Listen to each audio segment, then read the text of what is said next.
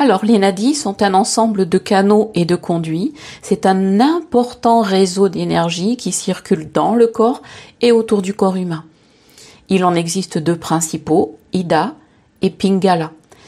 Ces deux nadis se croisent de part et d'autre de la colonne vertébrale, donc autour de laquelle ils s'enroulent.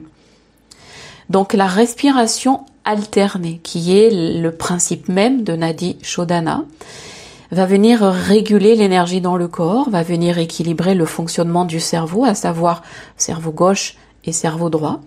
Et c'est cette alternance dans la respiration, le croisement du souffle, ou plutôt des souffles à gauche, à droite, le rythme engendré par ce mouvement respiratoire alterné et la concentration qui est nécessaire qui vont engendrer un mouvement de la conscience avec une énergie qui va venir s'équilibrer et produire sur le corps physique, énergétique, émotionnel et mental, et aussi sur les corps subtils, des bienfaits et des effets infiniment favorables.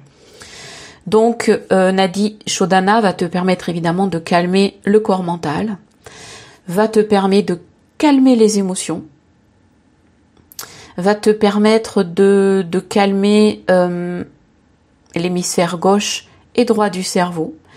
Elle va te permettre évidemment d'harmoniser et de rééquilibrer et de relier le corps et l'esprit, c'est-à-dire d'en faire un corps plus grand, sans séparation, qui travaille véritablement ensemble, du physique au subtil et en stimulant l'hypothalamus qui est le siège des centres supérieurs du système neurovégétatif, donc système qui joue un rôle capital pour les équilibres vitaux, le sommeil, l'éveil, le chaud, le froid, l'anxiété, le calme.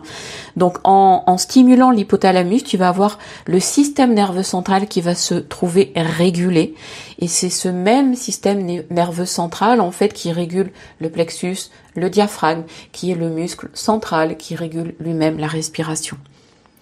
Alors, je t'explique dans euh, l'audio suivant la pratique de Nadi Shodana, dans laquelle je vais donc te guider pour la pratique.